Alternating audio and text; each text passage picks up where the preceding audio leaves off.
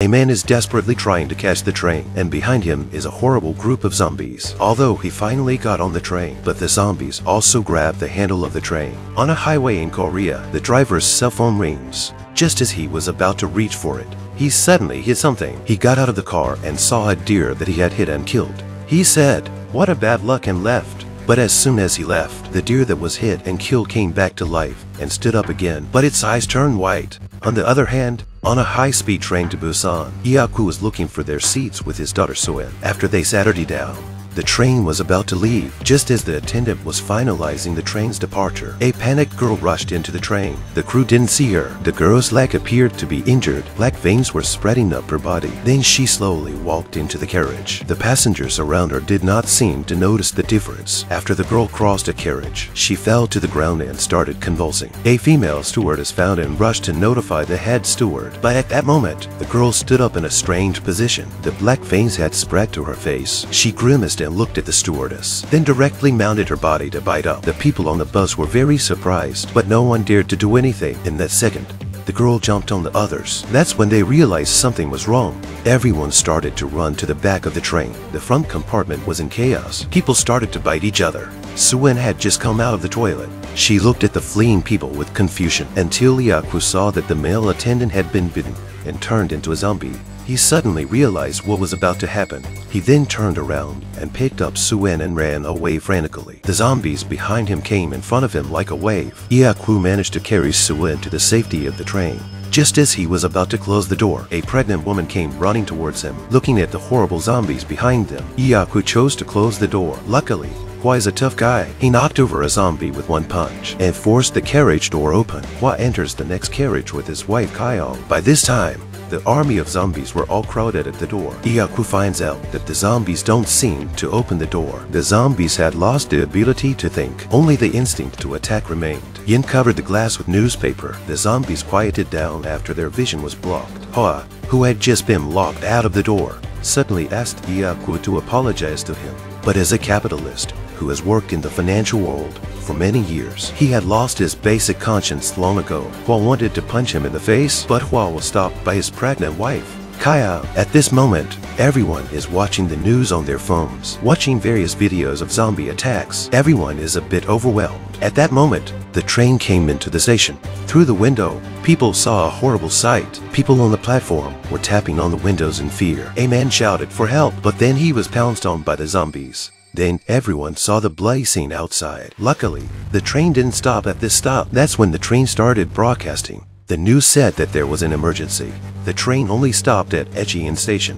It was said that there were soldiers guarding the station and it was very safe. Being worried, Iaku quietly went to an unoccupied carriage. He called an army friend and asked him if Echian was really safe. He was shocked by the news he received from his longtime friend. They told him that Aegean was not safe. As soon as the train arrives, everyone will be quarantined, but he can do Iaku a favor. He told Iaku to sneak through the other exit. Finally, the train slowly pulled into Aegean station. Everyone got off the train.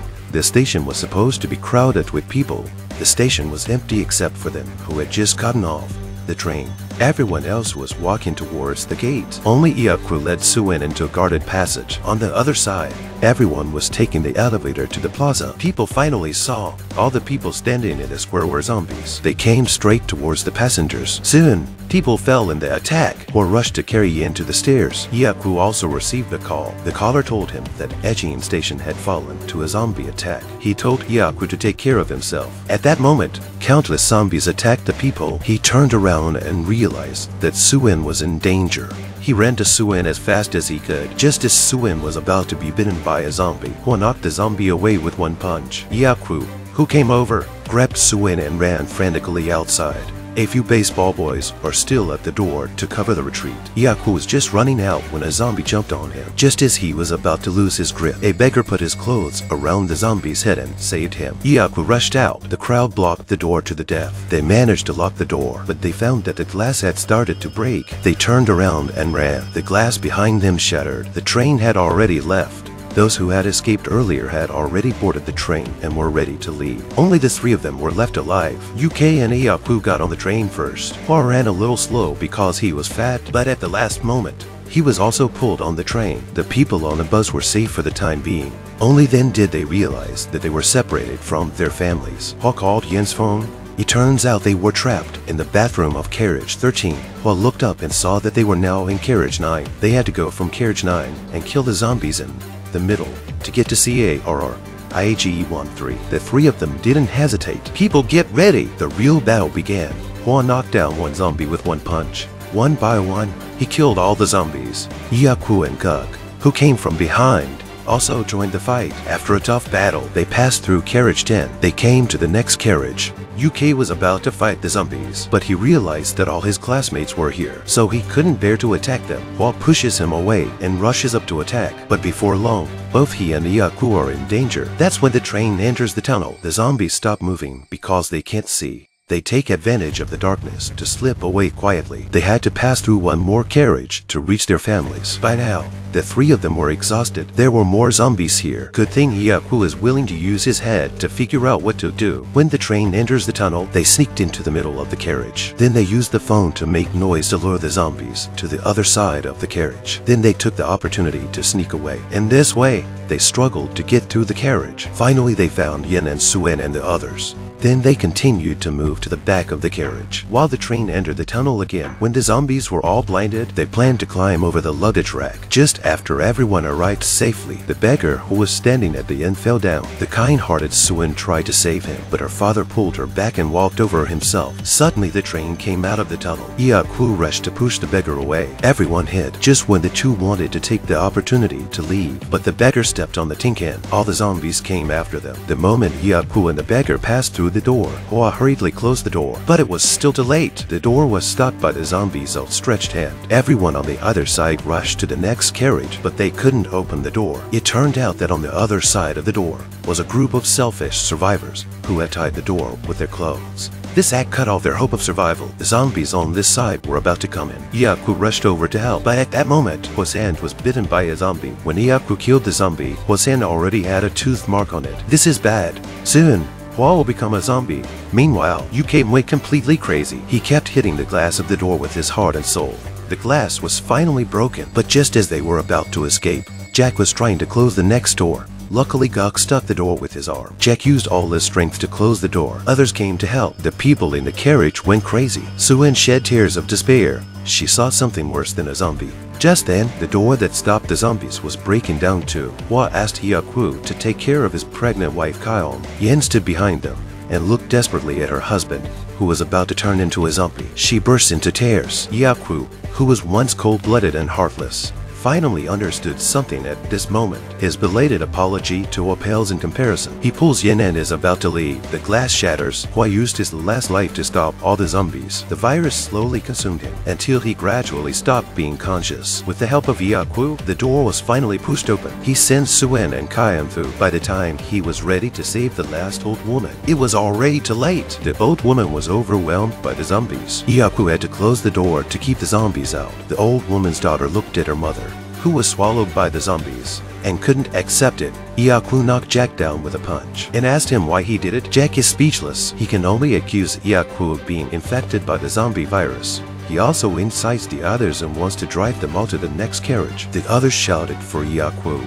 and the others to get out for their safety. UK asks his girlfriend he to stay in this carriage, but he says she doesn't want to stay here. The people here are scarier. That's right. Aren't these people scarier than the zombies? Iaku could only take a few people into the next carriage. After they went in, the people on the other side closed and fastened the door. The woman who had just lost her mother stood up. Then she walked towards the doorway full of zombies. Behind her, Jack saw it, but it was too late. The woman opened the door and let the walkers in. Iaku on the other side heard the screams. They tried to come over, but the door was locked by them. As the sound faded away, everything calmed down. By now, the train had already entered another city. Suddenly, the train came to an emergency stop. It turned out that the road ahead was blocked. The conductor called the passengers to change trains. Jack and the steward in the washroom heard it. The worst man is still alive, and his evil continues. Jack pushed the attendant out of the train. Jack ran out alone while the zombies were biting the crew.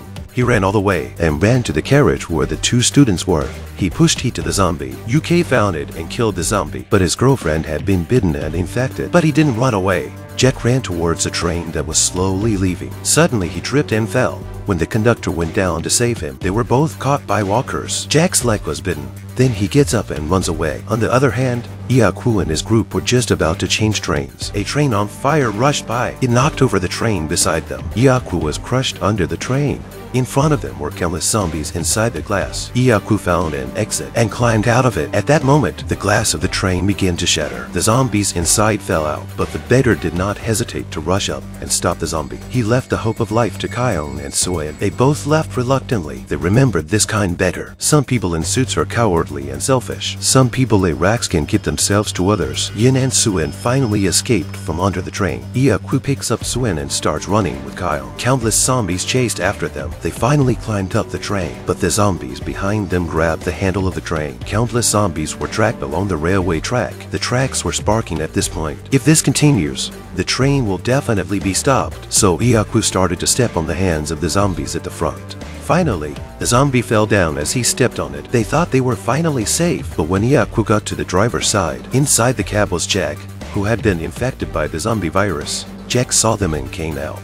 At that moment, he begged Iaku to take him home, but then Jack turned into a zombie and rushed directly to Kyle. Iaku had to cover his mouth in desperation. Then he was bitten on the hand by Jack. Suin cried out when he saw his father being bitten. Iaku chained himself up. He jumped down with Jack in his arms and then climbed back to the carriage with great difficulty. Looking at the wound on his hand, he knew there was not much time left for him. He took Yin and Suin to the cab. Then he looked at Suin and said his last goodbye between father and daughter. Suin begs him not to go. Iaku breaks down and cries when he hears this, but he could only pull Wen's tiny hand away from him in pain. Iaku went out and closed the cab door behind him. Suin cried and cried inside the cab, but he walked to the end of the train without looking back. He leaned against the train and cried bitterly. When he was about to lose consciousness, he remembered how Suin slept when she was born. The father smiled then he jumped off the train. Eventually, the train slowly arrived in Busan. The two of them entered a tunnel. The soldiers who were stationed there spotted them, but they couldn't be sure if they were alive or not.